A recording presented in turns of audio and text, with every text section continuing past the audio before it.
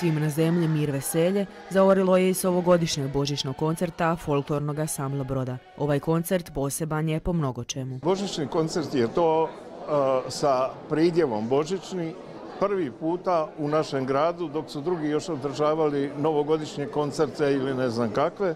Folklorni ansambl Broda je održavao božićni koncert sa imenom koje je dao naš profesor Zvonimir Toldi. A što je sve publika mogla čuti? Tema je Božić, je li neko, niz božićnih pjesama koje su što kaže namijenjene neke djeci, neke e, odraslima, a u svakom slučaju i pojavit će se tu i neka nova božićna pjesma. U svakom slučaju e, mi nastojimo ovdje u folklornom ansamblu da uvijek imamo spoj tradicije i novoga.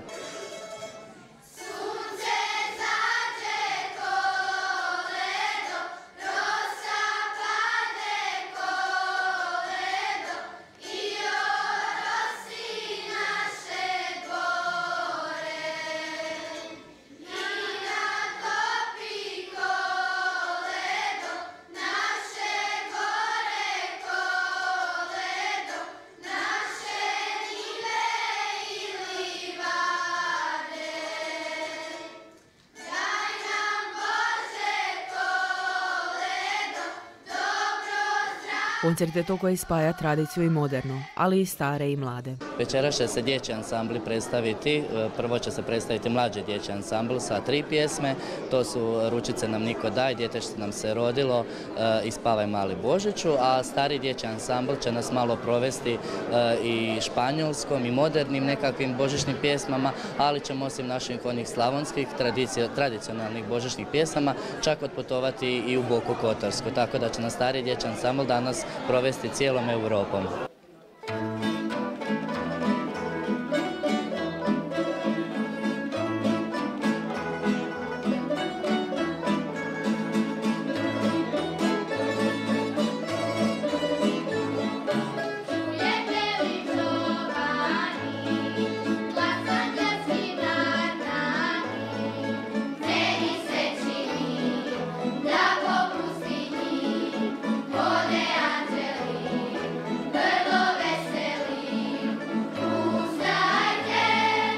Prepuna dvorana u radničkom domu mogla uživati u raznolikome repertoaru pjesama.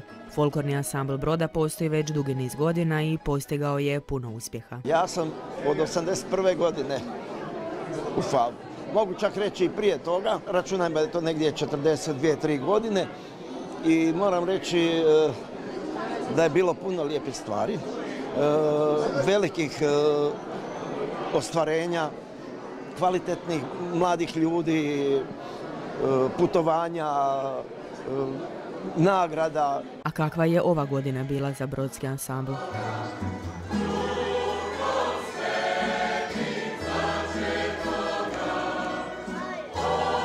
Godina je bila više nego uspješna, toliko smo sretni sa ovom godinom, toliko smo zadovoljni sa ovom godinom, e, s obzirom da su to sad ove reći, možemo reći službeno nekako post-koronarne godine, gdje smo mi stvarno dobili veliki, veliki e, odaziv e, novih članova.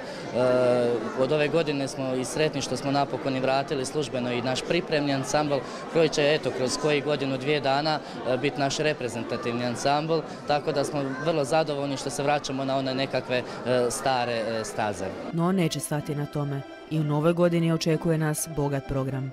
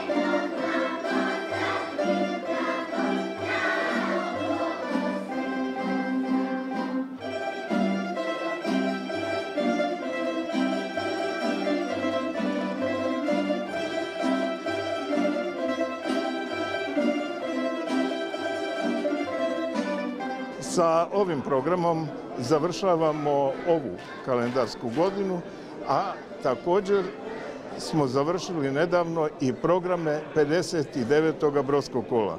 Međutim, sve ćemo vrlo brzo započeti u Sikerevcima, točnije 13. siječnja e, smo u prvom programu 60. jubilarnog Brodskog kola u smotri pučkih igrokaza i Sikerevačkoj poredovnici. Sa kudom e, Slogaju Sikerevaca organiziramo i sljedeće godine početak Brodskog kola. Pozvani su svi koji vole Brodsko kolo i tradicijske vrijednosti našega kraja da poprate ovaj događaj, ali i sve iduće izvebe folklornog asambla Broda. Zasigurno se neće razočarati.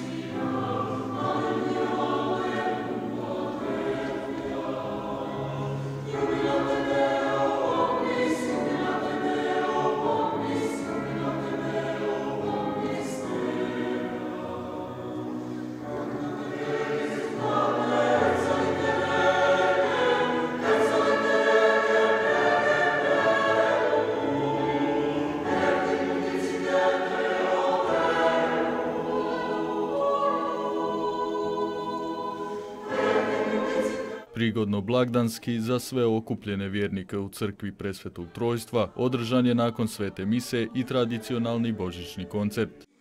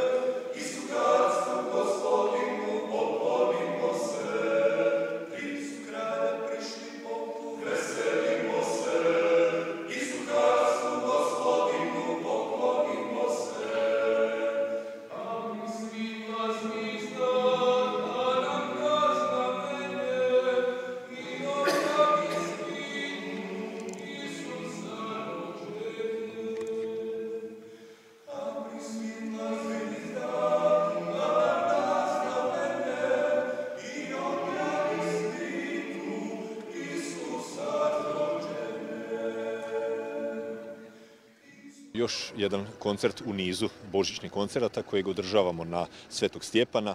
U Velikoj crkvi uvijek je e, velika čast nama i zadovoljstvo e, pjevati. Naprosto je zvuk koji nosi cijelu tu emociju, e, osjećaj Božića i našu čestitku prema svima onima koji dođu zapravo je fenomenalan, to moram priznati.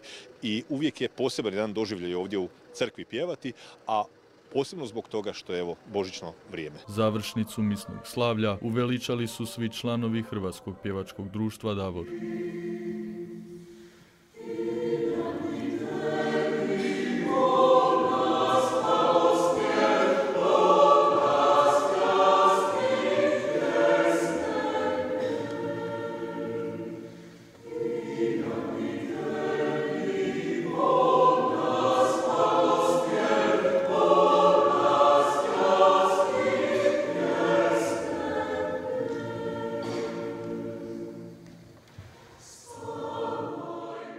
Iako nije to prvi puta da Valentina Iveljić stane na mjesto dirigentice, ovaj puta ona je pripremila znači božićni ovaj repertoar i nešto starijih naravno eh, od ranijih skladbi koje smo već i ranije izvodili, pa ćemo ih ponoviti jer smo primijetili da se ljudima neobično sviđaju, što nije ništa eh, čudno.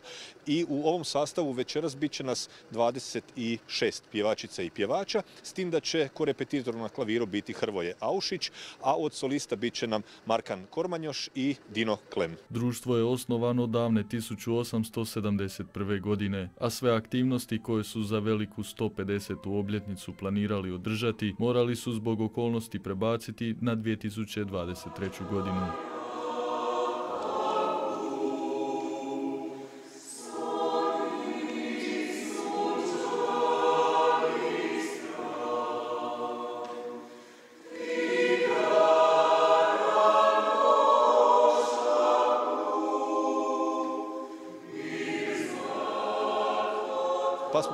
Bili i na natjecanju u Karlovcu u petom mjesecu. Nakon toga imali smo gostovanje e, kod nas u Slavonskom brodu. Organizirali smo natjecanje Slavonija Kantat i evo sada kao kruna svega bit će predstavljanje monografije 150 godina o Hrvatskom pjevačkom društvu Davor, e, koji je zapravo jedan ogroman projekt koji je evo preko dvije i pol, skoro tri godine su prikupljeni svi materijali, a uz naravno financijsku potporu Ministarstva kulture, grada Slavonskog broda i Brodsko-posavske županije. Uz sve ove aktivnosti zaključuje pregršt planova imaju i za 2024. godinu.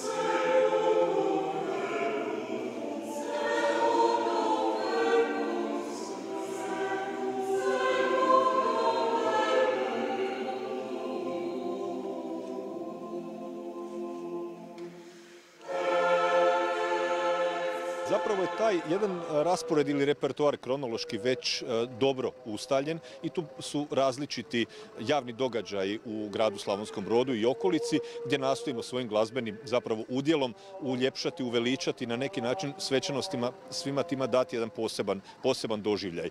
U petom mjesecu 2024. godine planiramo putovanje u Šibenik na natjecanje pjevačkih zborova i u desetom mjesecu bi trebao se u Slavonskom brodu održati po planu festival Gaudeamus, festival duhovne glazbe.